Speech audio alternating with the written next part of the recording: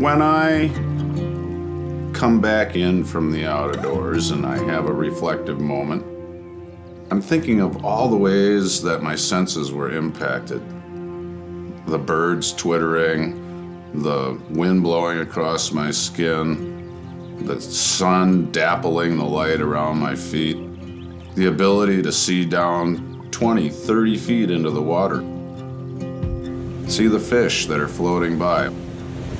All of those sensory experiences add up and help rebalance us in an age where we really tend to shut them out.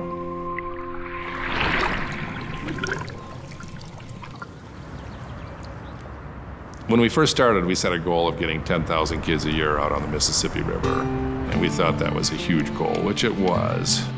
But within two years, we were, we were doing that. The program really took off. It was very popular. So we started going to other cities.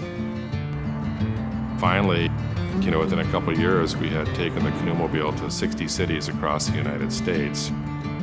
And really, within about five years, we had reached 250,000 kids. And it's kind of amazed me. I mean, I'm, I'm, still, I'm still amazed that it's happening in the way that it is.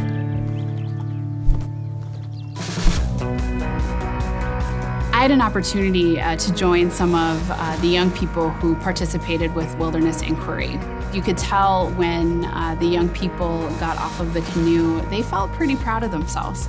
And I think that matters especially for our, our kids who may not have access uh, to the ability to, to go out in a, a canoe, to get on the water, uh, to spend that time uh, outside. Wilderness Inquiry really helps to remove a lot of those barriers to participation.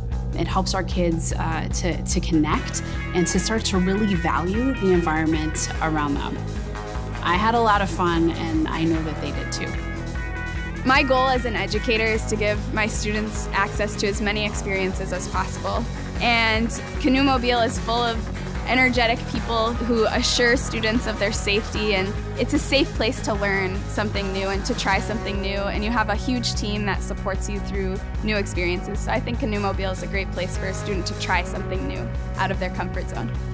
This is a program for all children, all young people uh, in, in our community uh, and across the country. WI uh, does that in a real powerful way and a real impactful way. And um, we're proud to be a part of their mission. A lot has been said about the next generation being the stewards that are going to take over the mess that we're handing them in the environment. And I think the canoe program and its educational components are a great way to introduce that next generation. Without someone introducing and becoming a mentor to a child, we can't expect them to be able to go out and learn how to do it on their own. And I think about, I remember the time my dad bought a canoe. He bought an Alumacraft canoe, and I was so excited, and we brought it out there. Didn't know how to paddle at all. We were paddling around in circles basically taught ourselves how to how to paddle a canoe.